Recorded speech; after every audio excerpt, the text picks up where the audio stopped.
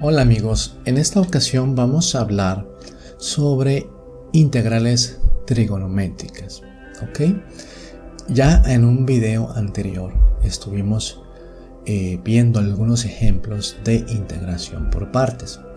Siguiendo un orden cronológico en lo que es la enseñanza de las integrales, de los eh, métodos de integración, pues a estas alturas corresponde ver lo que son las integrales trigonométricas. Fíjense, dice, cuando hemos combinado el método de sustitución con un uso adecuado de identidades trigonométricas, podemos integrar una gran variedad de formas trigonométricas. ¿Qué quiere decir esto? en estas integrales, el integrando es una función trigonométrica una combinación de funciones eh, trigonométricas. ¿sales? Vamos a en general a tener eh, integrales de este tipo. Seno de x elevada a una cierta potencia n eh, o bien coseno a la n de x. Pero también tenemos un segundo caso donde el integrando puede ser seno a la m de x por coseno n de x o bien eh, seno de eh, donde el integrando cambia. Fíjense, acá esta m está como el exponente, ¿sí? esa es la potencia a la que se está elevando el seno. Entonces, seno a la m por coseno la n. m y n son números. ¿Sales? Aquí está de forma general. m puede ser un 7, n un 4, etcétera, etcétera. Son números enteros positivos. Aquí en este caso también m y n eh, son números, pero están dentro del argumento. Seno de 3x por coseno de 4x, por ejemplo. ¿Cuánto es esa integral?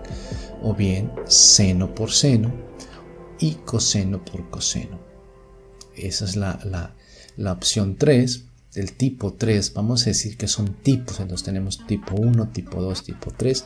El tipo 4 es la integral del tangente, tangente al cubo, tangente a la 5, a la 7, a la 10 eh, de x, la de cotangente y también finalmente eh, una combinación de tangente y cotangente, por ejemplo tangente a la m por secante eh, a la n de x de x o cotangente por cosecante. Estas integrales suelen ser de esas integrales que se ven en un curso ya un poquito más avanzado de, eh, integración. Recuerden que iniciamos esto con antiderivadas, eh, la regla de la potencia, eh, algo que se conoce como integrales inmediatas.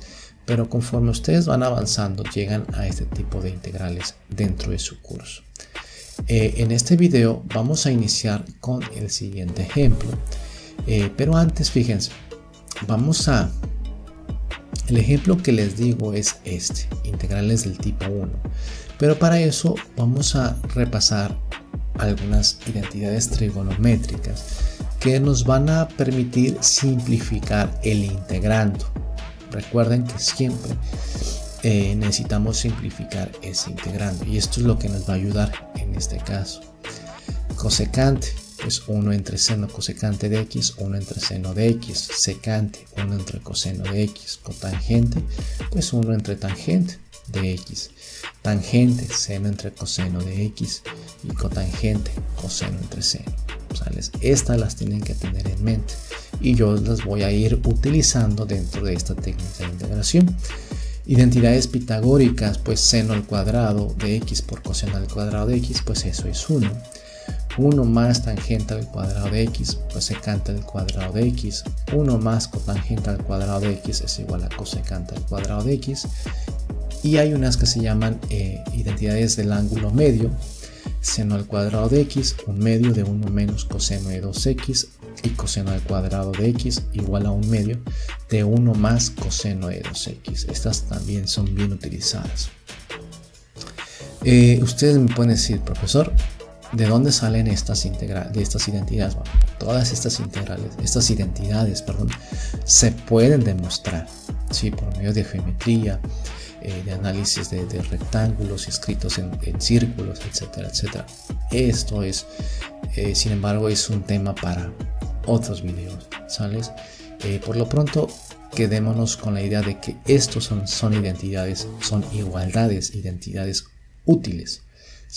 Lo que está del lado izquierdo del signo igual es igual del lado derecho. Por lo tanto, cuando ustedes vean en su integral, por ejemplo, seno al cuadrado de x, pues pueden sustituir esto. ¿Sabes? Por eso son identidades. Bien, vamos a ver entonces un ejemplo del tipo 1. Y aquí nos da un pequeño tip para proceder con este tipo de integrales. Vamos a considerar el caso donde n es un entero positivo y vamos a factorizar el seno o el coseno, dependiendo de lo que esté, si es un seno o un coseno. Y nos dice que utilicemos la identidad pitagórica seno al cuadrado de x más coseno al cuadrado de x igual a 1 en este ejemplo n es impar, es decir, eh, tenemos un 5, los números pares, 0, 2, 4, 8, números impares, 1, 3, 5, 7, 9, ¿sabes? Es un número impar, entonces es 5 seno quinto de x de x o seno a la 5 de x de x. Eh, yo así lo suelo eh, pronunciar, seno a la 5 de x de x o seno quinto de x a la x o seno de x elevado a la 5, ¿sí? de x. Ok. Entonces vamos a hacer caso del tip que nos dice. Dice, factorice el seno. Pues lo vamos a factorizar de tal manera que si es algo impar, pues nos quede par por impar. Ok. Esto es como una reglita. Vayan, este tipo de integrales tiene un montón de, movimientos de, de sustitución de identidades que tenemos que ir entendiendo qué pasa si el numerito es 5, si es par, si es impar. Entonces aquí es impar y eh, simplificamos. Dice factoriza el seno o el coseno. En este caso es un seno, estamos factorizándolo como un seno a la 4 por seno de x. ¿Por qué seno a la 4? Porque tenemos que usar esta identidad significa que de aquí yo me puedo pasar a esto. Si seno a la 4 lo puedo escribir como seno al cuadrado al cuadrado. Y de esta manera yo puedo sustituir quién es seno al cuadrado, despejando de aquí seno al cuadrado es 1 menos coseno de 2x. Este coseno lo paso del lado derecho.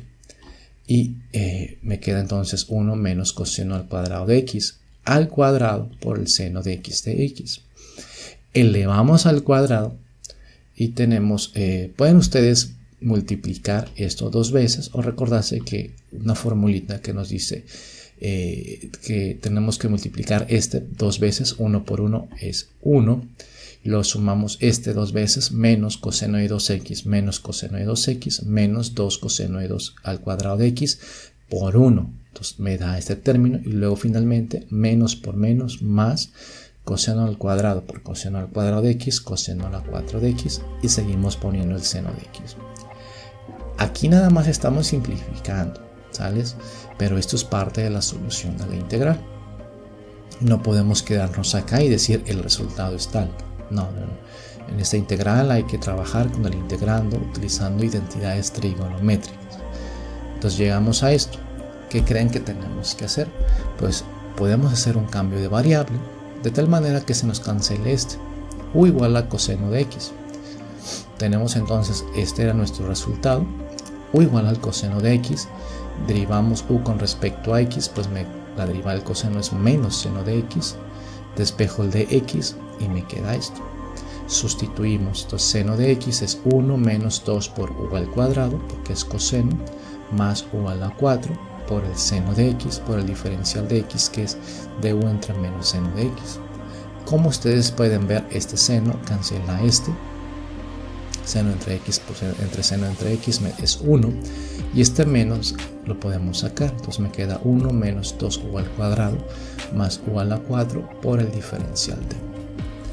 ¿Qué hacemos? Pues a, a este punto resolver la integral por medio de la regla para la potencia. ¿sales? La primera que llegamos a ver en esta serie de videos. Entonces, acuérdense que hay una generalizada, que en este caso sí es la generalizada, porque esta u eh, no es una variable, sino es una función, pero podemos eh, pensar en la, en la primera regla para la potencia y eh, la integral, este diferencial de u multiplica cada uno de los términos. Recuerden que eso está factorizado, entonces la integral, esta es una integral, segunda, tercera integral, tres integrales. Entonces la primera, la integral del diferencial de u, pues es u, por este menos menos. Lo menos por menos más, dos veces u al cuadrado, la regla de la potencia, de sumo 1, u a la 3 entre 3, menos por más menos, u a la 5 entre 5, más la constante de integración. Ya integramos. Aquí ya integramos, simplemente regresamos a la variable original que está en términos de x.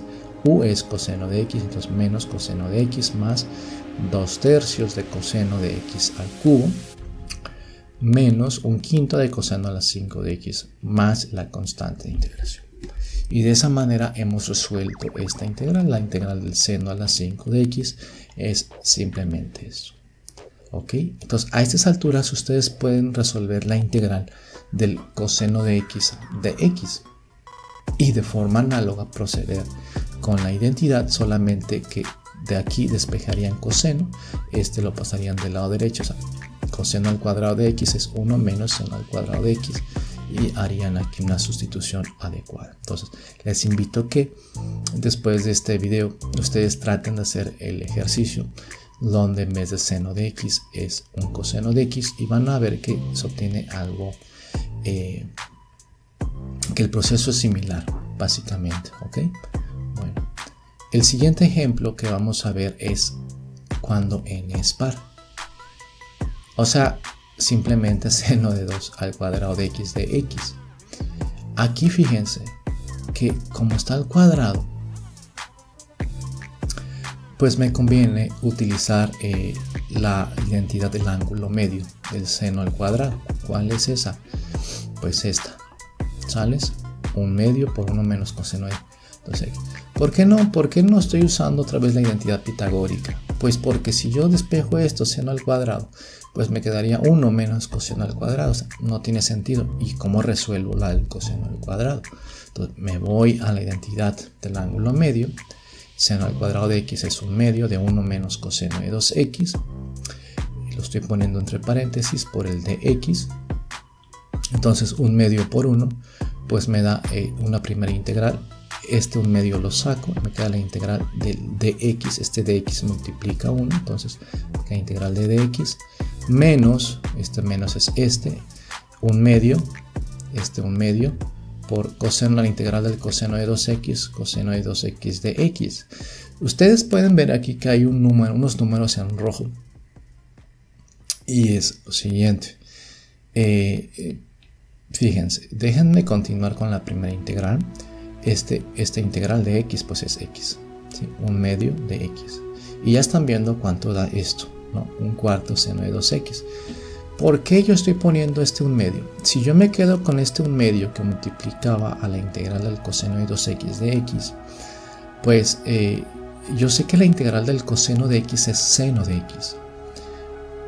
La integral del coseno de 2x, para que sea seno de 2x, debe de tener un 2, debe de estar la derivada de su argumento, este 2 debe de estar aquí. Decimos que el integrando está completo. Eh, yo puedo ponerle un 2 entonces, que le hacía falta, pero lo saco dividiendo.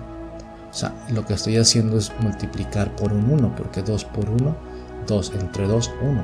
No estoy alterando, nosotros siempre podemos multiplicar de forma estratégica por un 1, por un 1, de tal manera que completemos integrandos. Y esta integral, 2 coseno de 2x, la integral de esto es seno de 2x, y un medio por un medio, pues me da un cuarto. Y ya, esta es la solución.